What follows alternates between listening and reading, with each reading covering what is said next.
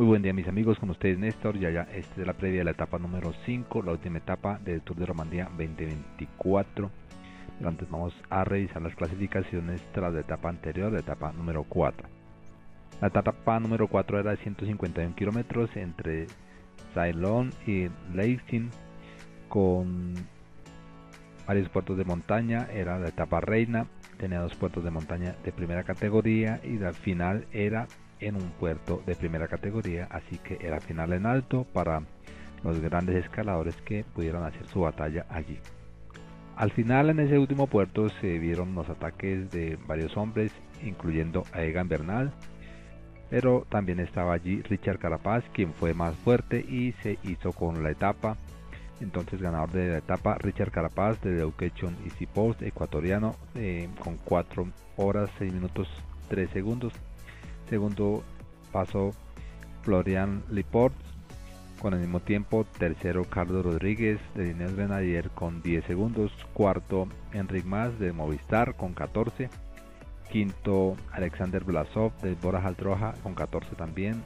Sexto pasó Egan Bernal del colombiano de Ineos Grenadier con 27 segundos.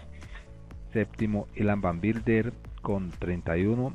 Octavo Tao Gegenhardt de Diddle Trek con 40, noveno David Goudou del Grupama FJ con 41 y décimo Cristian Rodríguez del Arkea, Sam, Arkea B&B Hotels 44 segundos. El segundo mejor colombiano en la etapa fue Iván Ramiro Sosa del Movistar Team con 1.32 posición 17. Y la clasificación general sufrió modificaciones, Juan Ayuso no se pudo sostener en el liderato y ahora el nuevo líder es Carlos Rodríguez de Líneas Grenadier con 12 horas 22 minutos 46 segundos. Segundo Alexander Blasov de Borajal Droja con 7 segundos. Tercero Florian Lipors de Borajal Droja con 9. Cuarto Ilan Van Bilder, Saudal Quickstep con 21. Quinto Juan Ayuso del OI Team Emirates, quien era líder inicialmente con 27 segundos. Sexto, Enric Mas de Movistar Team con 38. Séptimo, Richard Carapaz, el ecuatoriano de Education Easy Post con 49. Octavo, Lenny Martínez del Grupama FJ con 52. Noveno, Tao Gegenhardt del Lidl Trek con 1.02. Y décimo, Egan Bernal del Lineos Grenadier que logró meterse en el top 10 de la clasificación general con 1.23. Entonces, al parecer, Em, estos son los resultados definitivos a falta de una etapa. Vamos a ver cómo se plantea esa última etapa. La última etapa son 150 kilómetros entre Bernier y Bernier. Es una etapa con muy pocas ascensiones. Tiene ascensiones pero no es demasiado mm, difíciles por lo que se plantea como una etapa eh, de transición el primer mm, puerto de montaña que se encuentra es Tardangli, 1.3 kilómetros, 4.8% de inclinación.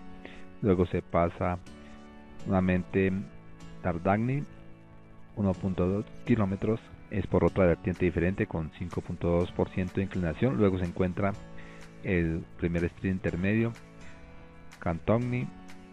Luego se pasa otro puerto, nuevamente el puerto de tercera categoría, Dargagni, 1.2 kilómetros, 5.2% de inclinación, así que se repite nuevamente el paso por ese puerto.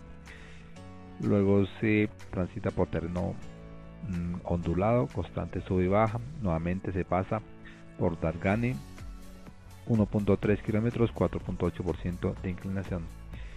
Y mm, el final, al final se encuentra pues un sprint intermedio Cantogni, el segundo sprint intermedio del día, y luego el terreno plano para la meta. Así que no creo que haya alguna batalla de escaladores. Los sprinters, los velocistas estarán allí para hacerse con esa etapa, para batallar por esa etapa.